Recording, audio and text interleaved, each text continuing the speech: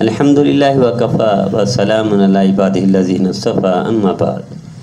میرے بھائی اور دوستو، مسلمانوں کے اندر بہت ساری بیماریاں آ گئی ہیں، جو ان کو دنیا میں بھی خراب کر رہی ہیں، آخرت بھی ان کی برباد کر رہی ہیں۔ آئیے ہم دنیا کے نقصان سے بھی بچ جائیں، آخرت کی تباہی سے بھی محفوظ ہو جائیں۔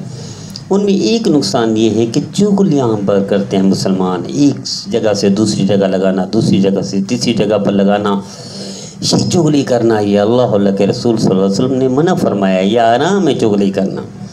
یہ کتے کی طرح حرام ہے، یہ سور کی طرح حرام ہے، یہ شراب کی طرح حرام ہے، لیکن مسلمان باز نہیں آتا مزید و نبی کریم صلی اللہ تعالی علیہ وسلم نے ارشاد فرمایا کہ اچھا مسلمان وہ ہے جس کو دیکھ کر اللہ یاد آ جائے، اور بدترین مسلمان وہ ہے جو چگلی کھاتا ہے اور نفاق ڈالتا ہے، لڑائیاں کرواتا ہے۔ تو میرے عزیزو، امام غزالی رحمۃ اللہ علیہ نے عجیب ارشاد فرمائے فرمائی، جو راز فاش کرتے ہیں دوسروں کا اور ادھر سے ادھر باتیں کرتے ہیں، یہ بھی چگلی کرنے ہیں۔ یہ بھی چغلی ہے، یہ بھی تباہی ہے، یہ بھی جہنم میں لے جانے والا عمل ہے، یہ بھی اعمال کو تباہ کرنے والی ایک برائی ہے۔ امام غزالی رحمۃ اللہ علیہ نے ارشاد فرمایا، سانپ کی اللہ نے زبان کھینچ لی۔ کیوں کھینچی کہ جب حضرت آدم کا راہ یہ فاش کیا تھا تو سب سے پہلے خبر سانپ نے ادھر ادھر پھیلائی تھی۔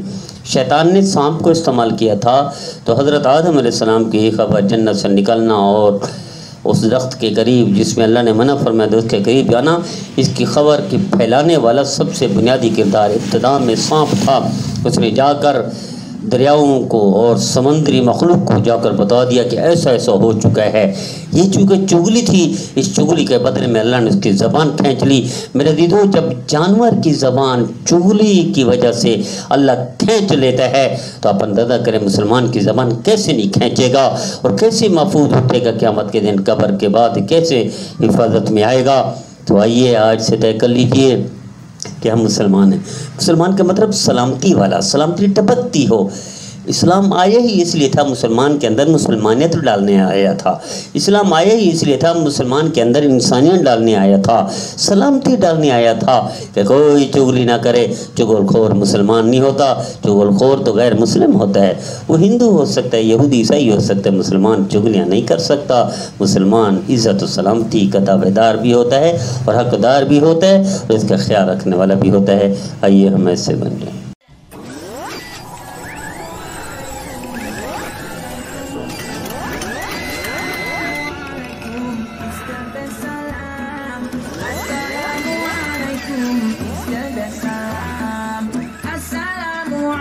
Peace be unto you.